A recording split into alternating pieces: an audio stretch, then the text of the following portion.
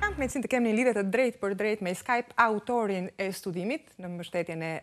OSBE-së, zotin Ilir Kalemaj, politolog. Përshëndetje zoti Kalemaj, kënaqësi që ju kam në studio.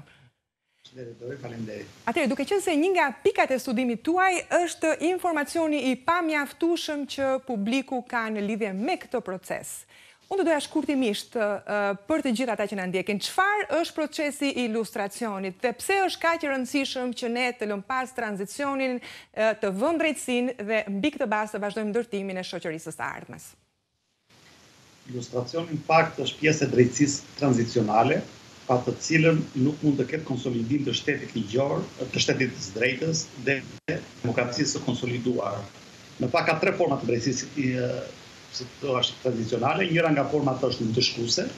ku përfshihet lustracioni dhe gjyqet për të dënuar krimet e regjimit komunist.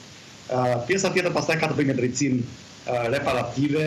apo drejtësinë restauruese, ku futen shpërblesat, futen faljet, përmendoret e kështu me radhë. Në fakt Shqipëria në asnjë nga këto aspekte të drejtësisë tranzicionale nuk ka bërë plotësisht atë që duhej bërë, pra as nuk është realizuar falja e, e plotë, do të thotë kërkesa e faljes nga autorët e krimeve të komunizmit, as nuk janë kujtuar të vrarët nëpërmjet përmendoreve dhe dhe nuk janë zhvarrosur madje disa nga eshtrat ende nuk dihen se ku janë, janë mbi 7000 të pushkatuar me gjyq dhe pa gjyq. Kështu që Shqipëria është shumë më mbrapa gjithë pjesës tjetër të të, të vendeve të ish Europës Lindore dhe Qendrore, po ajo që ka shumë rëndësi dhe në lidhje me procesin specifik të lustracionit, pra e thënë ndryshe pastrimit të administratës publike, por sidomos edhe të elitës politike nga ish bashkëpunëtorë dhe jo vetëm, Sigurisht ish nomenklaturë e lartë e regjimit komunist të cilët, një pjesë e mirë e të cilëve vazhdoi të ishte në pushtet edhe pas viteve nëntëdhjetë, veçanërisht në pushtetin gjyqësor, pra kemi pasur raste që kanë qëndruar deri vonë në vitet nëntëdhjetë në pushtetin gjyqësor, duke dhënë drejtësi, ndërkohë që kanë qenë të akuzuar apo kanë kryer krime nëpërmjet posteve që kanë mbajtur përgjatë komunizmit. Ndërkohë që po të shohim në vendet e tjera të lindjes ish komuniste, këto vende disa prej tyre e filluan këtë proces shumë më herët dhe e përfunduan në proces shumë këtë proces në mënyrë shumë të suksesshme. Cilat janë disa nga këto vende dhe si ka ndikuar pikërisht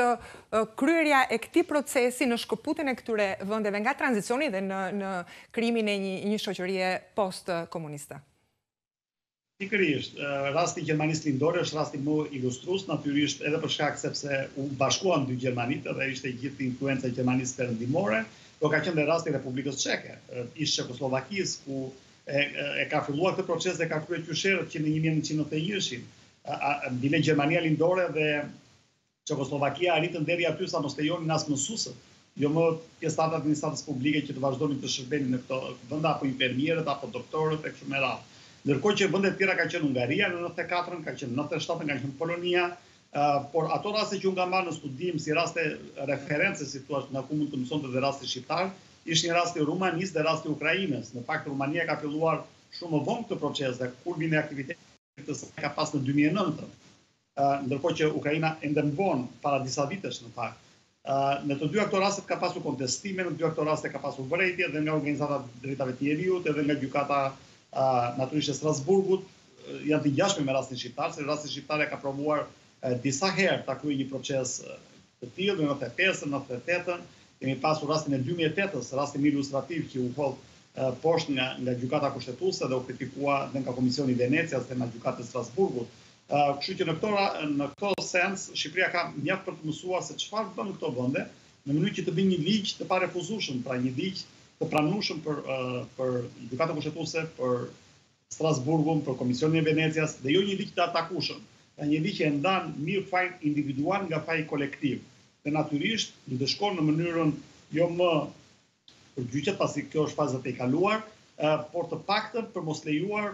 të cilët kanë precedent penal, veçanërisht në shërbimet sekrete, shërbimet informative apo në polici, ku tashmë është duke kryer një vetting apo në organet e tjera të sigurisë apo të drejtësisë që mos të ketë më njerëz me të kaluar të errët për sa i përket shërbesës që ata kanë bërë në regjimin komunist dhe dënimeve që ata kanë dhënë ndaj personave të pafajshëm për shkak të bindjeve të tyre politike. Në fakt ju në studimin tuaj nxirrni edhe shifra alarmante, shifra që sipas jush tregojnë që bashkëpunëtorët e Sigurimit të Shtetit ishin jo pesëmbëdhjetë mijë, por njëqind e pesëdhjetë mijë, pra dhjetëfishi i tyre. Ky numër kaq i madh të personash, le të themi, bashkëpunëtorësh që janë të shtrirë nëpër administratën, nëpër institucione të ndryshme, çfarë ndikimi kanë në, le të themi, erozionimin e demokracisë dhe çuarjen e vendit në një drejtim të cilin askush nga ne nuk e do. Problemi këtu nuk është thjesht çështje numrash. Nuk ka rëndësi nëse kanë qenë njëqind e pesëdhjetë mijë apo kanë qenë njëqind e dhjetë mijë apo dhe më pak. Një pjesë e mirë e ish-bashkëpunëtorëve të Sigurimit të Shtetit kanë qenë të detyruar në fakt dhe kanë vinin nga radhët e ish-persekutuarve. Duhet të thënë kjo. Një pjesë tjetër kanë qenë që nuk kanë kryer ndonjë vepër penale në atë kohë, domethënë pavarësisht të gjithë shtrëngesave që kanë pasur. Nuk është qenia në vetvete bashkëpunëtor i Sigurimit të Shtetit që duhet patjetër të ketë të preken nga ligji i lustrimit. Në fakt, ata që duheshin prekur akoma më shumë se ish-bashkëpunëtorët e Sigurimit të Shtetit kanë qenë vetë punonjësit e sigurimit për hir të së vërtetës dhe së dyti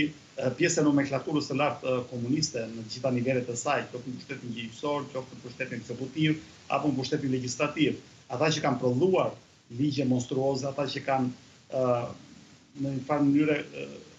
e kanë hedhur në erë, e kanë minuar Jo shtetin e së drejtës po dhe një shtet ligjor të mirëfilltë domethënë ne ishim i vetmi vend që nuk kishim avokati pra ishte abroguar institucioni i avokatit